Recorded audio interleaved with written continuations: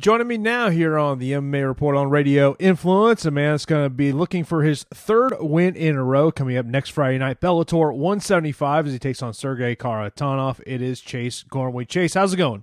What's up, buddy? Good talking to you. Great talking to you. I was uh, when I, I knew I was going to be talking to you. You know, I pull up your, your profile. I, I have to think that you have to be one of the quietest guys that is has won seven of his last eight fights. Is part of that because Yeah. maybe people when, they think of the upper echelon of the Bellator heavyweight division, you're just a name that just doesn't get brought up. Uh, you know, I think it's my style. You know, I, I- I'm more of an output guy, and I don't go out there and, and crush dudes in the first round. And uh, I think in heavyweights, you know, you got to have a couple, a couple of those uh, to kind of get noticed. I think so. I've kind of made those adjustments in the room because I really got to start finishing guys if I want to get a, a chance at that title shot. So I've made those adjustments, and I think that's probably why I'm not as big of a name as I should be. But I'm working every day to make sure that I can get to, get to that point. You know.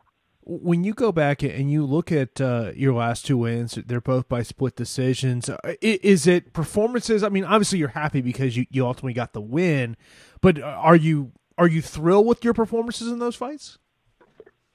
No, not at all. Uh, like I, I've told a lot of guys I've talked to so far, as I was hurt, you know, the Beltran fight, I had a pinched nerve in my neck, uh, and it went all the way down my left arm. And then my last fight with Bobby Brents, my hand was broken about two weeks before the fight. So, but uh, like I said, when I signed that contract and, and show up for the fight, a fight. You know, unless the doctor says no, I'm I'm I'm coming in no matter what. You know. Is I mean, obviously, you know, to get paid in the sport, you, you got to fight. Is that part of the thought process of? Yeah. I, I've got to battle through this because ultimately I've got to, you know, I've got to, you know, pay the bills and feed the family. Yeah, you you know, and I'm not in a position right now where I can turn down fights because it's really detrimental to uh, you know paying bills and making sure the family's okay. So I, that had a lot to do with me taking the fights too. But it's also just my mentality as a wrestler. You know, unless you know my body's totally you know unable to do it, I'm going to do it. You know. and, and taking on Sergei Kharitonov here, obviously, uh, you know, Sergei, you know, no disrespect to, to Bobby or, or, or Joey, but he is the biggest name, uh, or Dan Charles that you have fought uh, in Bellator, but he is entering this fight, you know, following that, Yeah. that knockout loss in 16 seconds. I know there's nothing you can Yeah. really gain out of going back and, and watching 16 seconds of a fight. Um, but know, because of the fact that he's had so many fights here, you're kind of like, I, I know the guy that's going to show up. There's there's not going to re- really be many new wrinkles he's going to offer. Yeah, well, I mean, I got an idea what he's going to do, you know, and I think uh, he's going to come out re-energized for this fight because you know he's an older guy. He's he's not a young kid that, that's kind of discouraged from a knockout win. He's like, ah, it happened. You know, he's gonna he's gonna make some adjustments to the room and come back stronger. So I definitely know that's going to happen, but I think he's come back a little too soon. I think uh, he's probably still a little bit rocked, and uh, it's definitely in my in my advantage to go out there and push the pace and try to knock him out in that first minute, first two minutes. And if not, then I'm prepared to go the distance. You know, I have two different game plans, and uh, just got to make the adjustments on the fly if I have to. You know. When you see someone get knocked out like that in- in that matter and, Yeah. and as quickly, whether you know it's a guy that you're in the training room with, or, or maybe you you've run across him at some point, what what do you think is the amount of time that a fighter should sit on the sidelines? Uh, I think it takes about seven to eight months because I've been knocked out. Like I said, I've been knocked out personally, and uh, you know, it, it for me, my brain didn't really get back to normal until about that seven eight month mark. You know, so I just think like when you get hit in the room, the littlest punches kind of you know rock you. So I, I definitely don't think he took enough time off. But like I said, everybody's different though. He might heal really fast. So well, I guess when we go out there, we'll see. You know. in, in terms of, of preparations for this fight, any uh, any minor or drastic changes in your training camp?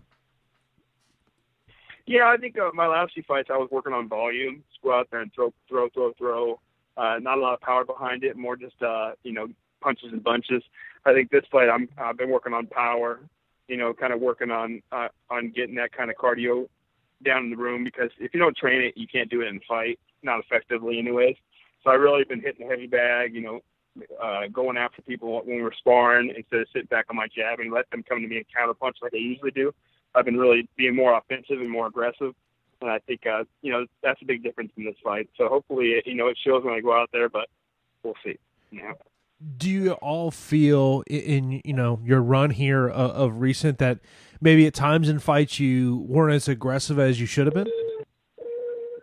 absolutely not. You know, I think that that kind of like you know with Joey and uh, and Bobby, if I just would have pushed the pace, I think there would have been much different fights. I just you know I, I let them stay in the fight and made it into a boring fight.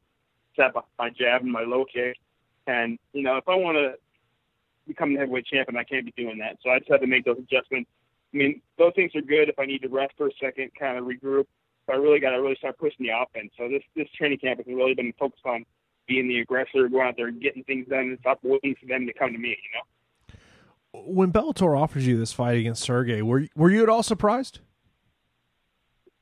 No, I mean, I, I mean, they've offered to me before, but I know Sergei turned it down a few times. So I always thought it was going to happen a lot sooner. When finally gave it to me this time, I knew he wasn't going to turn it down. So I'm really excited, you know, because I've always thought, you know, he's a he's a guy that if I can beat, no one really can deny me a shot at that belt, you know, or at least I'll, I'll be in the mix for it. Right now, you know, I still got a lot of proving to do.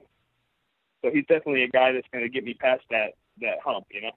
Why do you think he turned down fights with you in the past but accepted it this time? Oh, well, probably my last performance. You know, that performance with Bobby was horrible, and uh, he probably saw that and goes, "Oh, that's a guy I can beat." You know, but that wasn't that wasn't me, man. That I was I was hurt. You know, I was I was fighting like a coward, and this fight, I'm definitely not going to be fighting like that. And it's like if I do go down, it's going to go down on my shield, and it's going to be a fight. You know, he's not going to enjoy. You know. I think there was a, a popular sentiment uh, uh, among MMA Twitter when this fight was announced that you are basically being brought in to lose. What would you say to those people that basically feel that you're just being brought in to lose here? I mean, they don't they don't know me. You know, they don't know how hard I work. I work extremely hard, and uh, I'm a hard guy to beat when I when I put my mind to it. So, you know, the fans say what they want to say. They they pay their money and they watch the show. They can say whatever they want to say, but they don't know me. And when I go out there, I go out there to win. You know what I mean? I'm not the sacrificial lamb for anybody and whoever fights me is going to find that out. You know. Is there something you'd want fans to know about you that maybe they just don't know about you to this point? I mean, not really. You know what I mean? I'm not, I'm not a cocky guy. I'm not. A, I'm a guy that that you know talks big game. I just like to go out there and fight. I fight for me. I don't fight for fame or money. I've been poor all my life, you know, and that and that's not important to me. My what's important to me is go out there and you know, it's just a challenge for me. Every time I go out there and fight, it just kind of just uh, prove to myself where I'm at, you know, and that's the most important thing to me. If the fans like me, that's great. You know, if they don't, you know, that's their opinion. You know. I, I know there's a difference between being confident and cocky, and, and obviously stepping to a cage, you have to be yeah. confident in your abilities to go in there because you know another guy's trying to trying to take your head off. What is the difference between, for you at least, of being a confident fighter as opposed to being a cocky fighter? Well, I think nowadays, you know, with the McGregors and everything like that, it's hard because you know he, you know, he's definitely cocky, but you know, it, you saw what it did for him, you know. But it, it's not my style, and I try to always just be honest. You know, I try to be myself, and I try to don't put on a show for nobody. And I think uh, that's kind of where I'm at. You know, I treat my opponents with respect when we meet, when we when we shake hands for the, for the face off and everything like that. I never, they're never disrespectful, and I think that's kind of the difference. You know, guys go out there and talk smack, but it's a tough game, man. You know, some people that's how they have to do that to get their mind ready. You know, I don't have to do. I've been wrestling since I was four years old, so competing is competing. You know, it's as easy as going to the park and playing basketball. You know. And, and of course, uh, one year away will be a decade for you professionally fighting in MMA. And, and one of the things I always like to ask guys, what is the best night in the sport for you to this point? Best night in the sport for me. Uh, it was probably my win over Joey. It was my first win in a big organization. I kind of got that that monkey off my back. Like it, it wasn't a great performance, but I, you know, went out there and fought tough. So I think that was probably one of my biggest uh, accomplishments so far in my career. What's the most memorable night? Is is it Joey as well?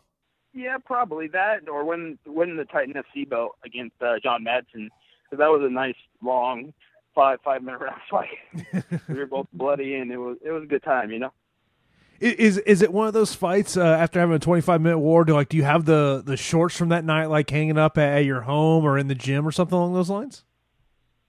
I still have them. I still wear them to practice and stuff. I, I've never been really like a memento guy. I don't really like keep stuff. You know, I mean, I'm not a hoarder or nothing like that. So, you know, when a fight's done, it's done for me. You know, I just move on to the next one. You know, I try I try not to live in the past, whether it was good or bad performances. I always try to move forward. You know. And of course, you've got your fight coming here next Friday night, Bellator 175. So you're going to be able to see Chase take on Sergei Kharitonov live on Spike. Of course, headline by Quinton Rampage Jackson taking on King Mo Lawal. Chase, as always, I appreciate the time and good luck next week. No problem. Thank you, sir.